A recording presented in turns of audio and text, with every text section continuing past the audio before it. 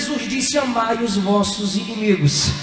Então você não tem inimigo. Para com esse negócio de meus inimigos vão me ver subir, meus inimigos vão ver minha vitória. Aí tu pensa na irmã que não te vendeu fiado na cantina.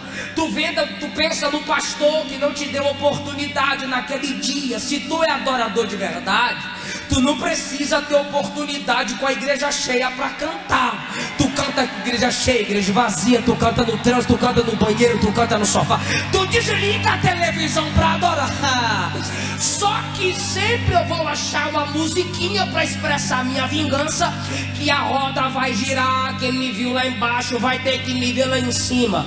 Se alguém te viu lá embaixo, quando essa pessoa te vê lá em cima, se foi Deus que te honrou, você não vai continuar lá em cima, porque você vai descer para fazer quem está embaixo subir com você. Isso é verdadeira adoração.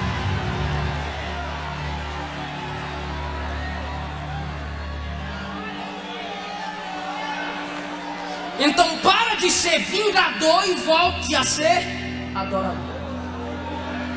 Ah, meu Deus, eu não dou conta. Eu tenho que falar. Nós precisamos santificar a música. Precisamos voltar.